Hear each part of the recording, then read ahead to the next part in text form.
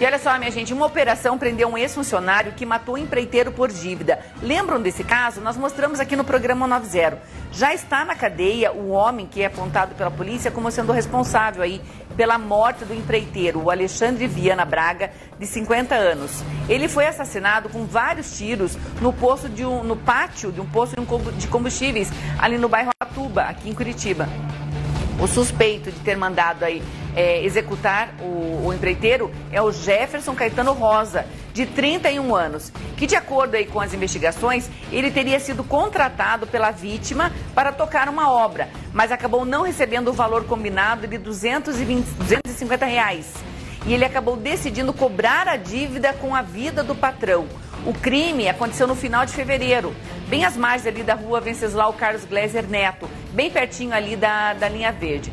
A polícia apurou, inclusive, que pouco antes do assassinato, o Jefferson teria ido até a casa de Alexandre para cobrar aí a suposta dívida e também abater parte do valor.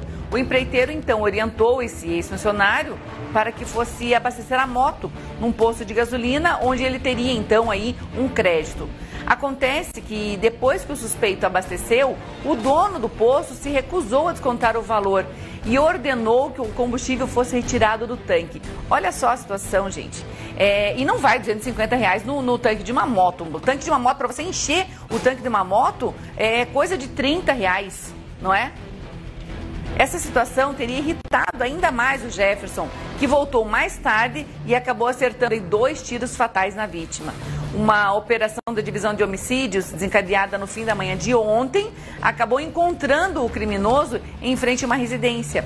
Ele estava na rua Joaquim Camargo, no bairro Guarituba, em Piraquara. Este homem não reagiu e foi levado à delegacia.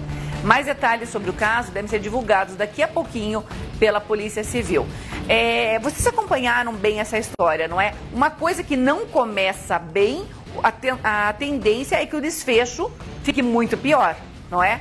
Fique muito pior. Acabou ali aquela questão da desavença, uma discussão por conta de uma dívida, 250 reais, gente.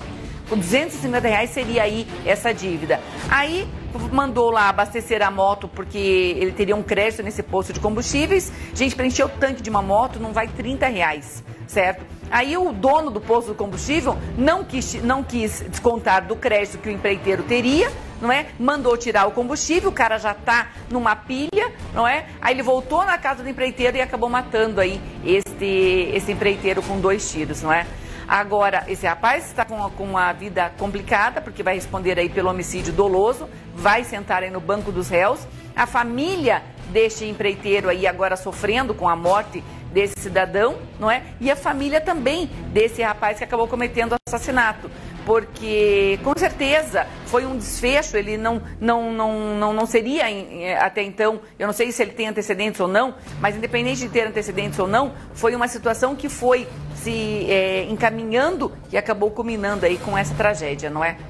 Todo cuidado é pouco, pense, conte até 10 vezes não é? Justamente para que você não se envolva numa situação como essa. E se você está devendo, faça uma proposta, paga 50 reais aí por, por semana, por mês, entendeu? Mas você também não pode é, achar que a pessoa vai aceitar de uma forma, o cara trabalhou, não é? E que o cara vai aceitar aí, é, é como se fosse um desaforo. Aí a pessoa também acaba perdendo a cabeça e acontece esse tipo de situação.